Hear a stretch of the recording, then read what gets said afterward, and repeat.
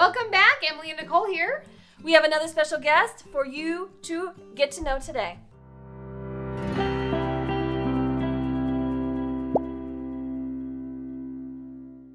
Hey everybody, as promised, we have a special guest with us today. We have Candace Thomas in the studio. she is a local Utah writer, author, and we just want you to meet her today. So tell us all about yourself. Um, I'm a young adult fantasy author. I also dabble in romantic comedy, um, like paranormal satire, as I would say, and I'm a Oh. poet. I mean, no genre really scares me as long as I just kind of like fantastical elements need to be within whatever I write. It's got to have some kind of, I don't know, charm to it. That kind of. thing. So how many books have you written, Candace? I've written five novels. So I have a full fantasy series. That's my young adult stuff. And then I have um, two standalones that are just more like contemporary reads. It's a vampire satire, is what Oh. I call it. Um, and it's called a vampirish, a hypochondriac's tale. And that has to do with, I kind of have a science background. And so that's why I wrote that one. And then uh, this other one that's uh, just a contemporary um, fantastical romance, I guess is what I could call it. So, Candace, I find this interesting because the other side to you, besides the writer author side, is you work with blood. I work with blood. so, for you to write a vampire novel makes 100% sense. Right? Yep. Yeah. It was kind of fun. I mean, I did it as a side project, you know, just because writing a series is a lot of work and it's enormous and it can be really draining. And right there at the end of when I was writing the series, um, I kind of had a side project of just getting out and making something funny and happy instead of this dark, you know, end of the world, everyone's dying kind of thing. Because I work with blood, as you said, so if people need like a, a person uh, to talk about science or blood or forensics, they call me and I go do it. Now you have, if you need that, you know where to go. That's right. Yeah. Yeah, I work up at the University Hospital in Transfusion, and so that's why. And vampire fiction has always been kind of lost on me a little bit uh, because I'm like, yeah, that's not going to happen. Or even gore or horror because blood. This is so funny that this is the direction it's. Hey, That's fine. Um, Whatever direction it takes. blood is a trigger for people. I mean, immediately we know how it feels. We know what it, it. Once you see blood, it's it's like something dangerous or bad. Yeah. So that's why they use it so much in horror or in film, um, because it triggers an emotional response. So a lot of the time, people will write and put blood in just to get that kind of reaction. and you're like, And I'm like, oh. yeah, all right. But there's other ways to kind of make that same reaction without being so gory. and you have done that. that. Yeah, of course. Oh, I mean, I yeah. try. I That's try. awesome. That's what I try to teach people, and that's kind of that's one of my novels that I have. What about your other books? Tell us about your other books. Um, so the first book that I wrote was called Vamp- uh, Vivatera, and that's the one I'm going to give away today. Awesome. Um, and it's a young adult fantasy, and that's the first in a series of three. okay. So, and it's all about magic, organic magic, elemental magic. Very Sanderson, very Tolkien-esque, except Love with that. a bunch of girls. Because I was finding that there weren't enough female heroines that I liked and that I kind of gravitated to. That was like a long time ago. Now it's just there's so much rich, you know, literature out there that you can grab. Um, Girl yes. power fantasy. That's what we're going to call that. it. Let's show the cover, shall we? That's a beautiful cover. We'll be giving this away on our Instagram. Um, well, as you said, I'm a poet, Uh-huh. and um, that is that's been kind of an interesting journey because I think when I was a teenager, I wrote like wrote out my feelings, but I didn't realize that I was a poet until like I don't know, like I don't know, five years ago. Oh, nice. Um, Never too late.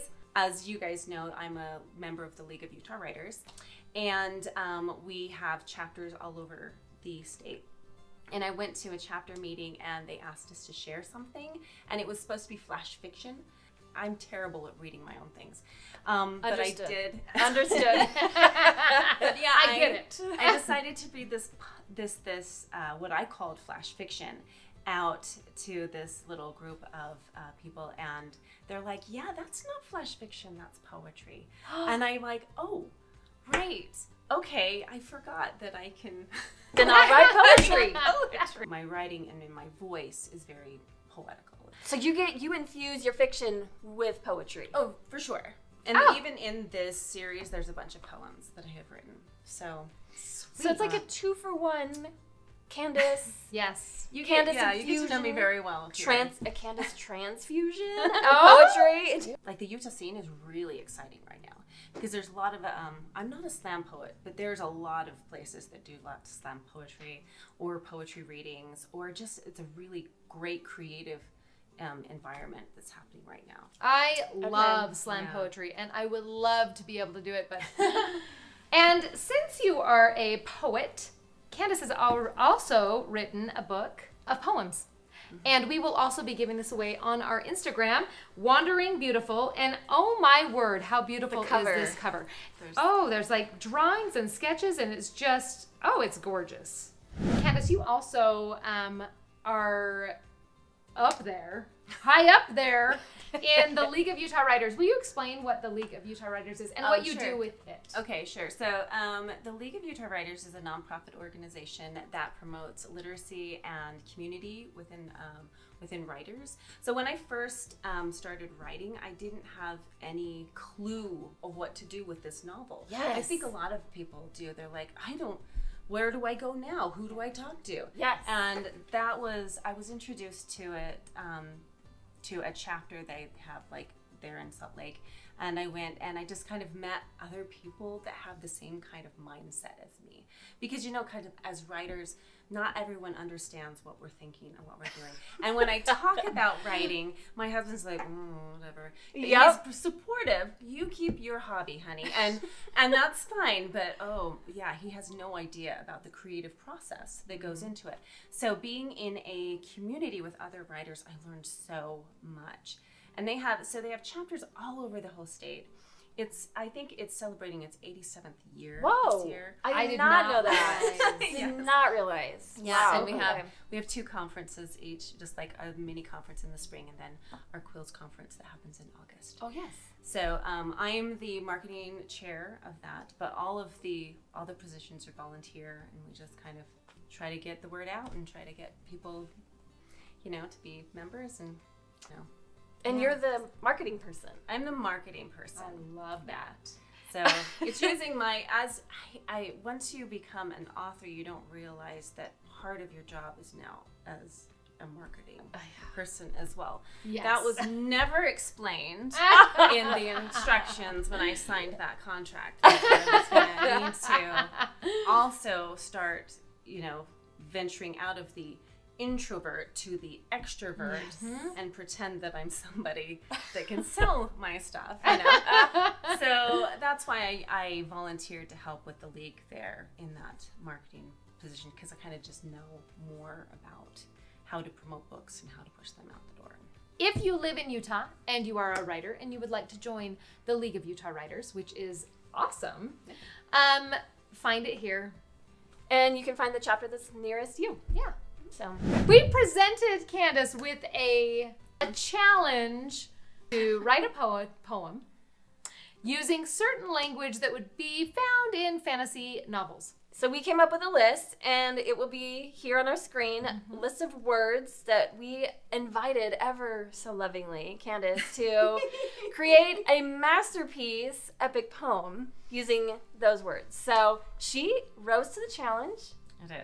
and she's going to share it with us on Okay, so channel. before we start though, so you guys gave me the option of doing it spontaneously or doing it beforehand. yes, we did. And knowing the words that you gave me, I'm so glad I said beforehand because the, the poem that would have come would have been horrendous. well, the words that we gave you were horrendous. Well, very, So, very, very tricky. Yeah. I would like to say that this is probably the only poem in history that has all of these words. I think we're setting a record today. Yeah. You are Mhm. setting a record. This is amazing.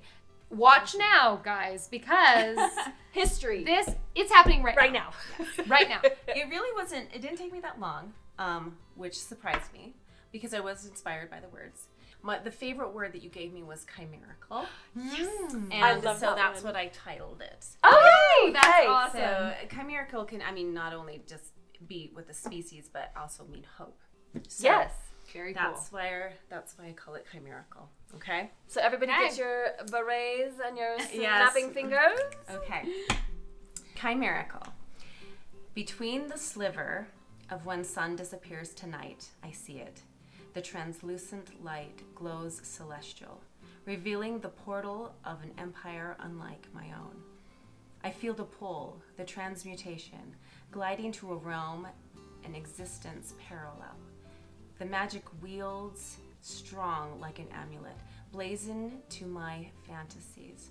I see my likeness, my doppelganger self, living, breathing among the trees, the mountains, the sky.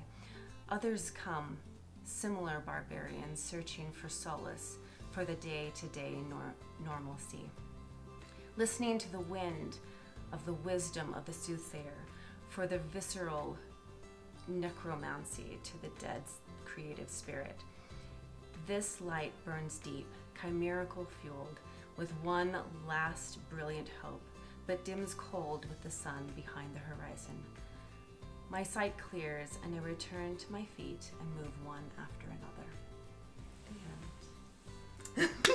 I'm not gonna snap. I'm gonna clap. Oh. Yeah. That, That was is really impressive. That is impressive. yeah, and you managed to set a mood with a mm-hmm. whole bunch of words that Yep. didn't really. Doppelganger, guys. Yeah, that was the one I was like, Soothsayer. soothsayer. Yeah. Necromancy. I'm not saying we're mean or anything, but we do like No. to challenge people. No, and it was a fun challenge. It was a, it was delightful. I really like this one. I'm definitely going to post it on Medium. I think. Um, so not only can she take words that are completely unrelated words and throw them into a beautiful poem, but she can write lots and lots of novels. I think you've proven yourself as a writer, poet, author today. Yes. Yeah. We again will leave all of Candace's information all over the screen. Mm-hmm. League of Utah Writers, Candace's website, and then uh, as a reminder, we will be giving away one of her books on our Instagram, so you'll have to hop over there to find them. I have a question for it for Okay. sure, because I am currently trying to work on a companion piece for my Vivatera series, and I just don't think I'm gonna ever get it done. Will I finish that book this year? Ooh, that is a good question. Magic Eight, and that's Magic pressure. Eight says. Oh, Magic Eight says. Why don't you? s- Ah, you may rely on it. Woo! Candace is finishing! Yes, she is. Look at She's she's like, finishing. oh, woo! That just means now I have to go back to work. Actually, do. Yay! Well, it looks like you probably should. Yes, Thank you. that Yeah. is amazing. Thank you so much for coming today. Yeah, we are we find you delightful. We do, we do find you delightful. So thank you, Candace. All right, we'll see you next time.